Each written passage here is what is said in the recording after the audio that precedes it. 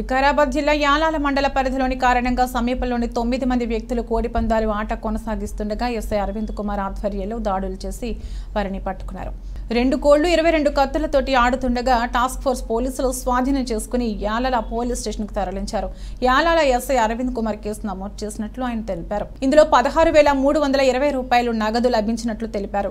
కోడిపందాల ఆట ఆంధ్రాకే పరిమితం అనుకుంటే ఇప్పుడు తెలంగాణ కూడా చాప కింద నీరులాగా తాకింది.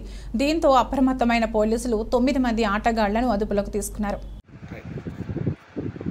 నమస్కారం. అందరికీ కూడా సంక్రాంతి శుభాకాంక్షలు. ఈరోజు కాకినా పరివాహక ప్రాంతంలో తొమ్మిది మంది వ్యక్తులు తాండూరు చెందిన వ్యక్తులు అందరూ దాంట్లో నలుగురు ముగ్గురు చెందిన వాసులు ఇంకొక ఐదుగురు సాయిబులకు చెందిన వ్యక్తులుగా ఉన్నారు.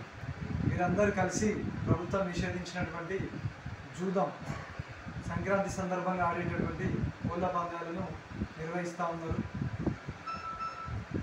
వచ్చిన సమాచారం మేరకు టాస్క్ ఫోర్స్ మరియు యాలాల పోలీసు వారు రైడ్ చేయగా తొమ్మిది మందిని పట్టుకోవడం జరిగింది.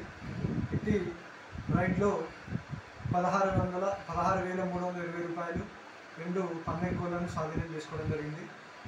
ఈ విషయంలో కేసు నమోదు చేసి వాళ్ళని అరెస్ట్ చేసుకొని తర్వాత ఇన్వెస్టిగేషన్ నిర్వహించబడుతుంది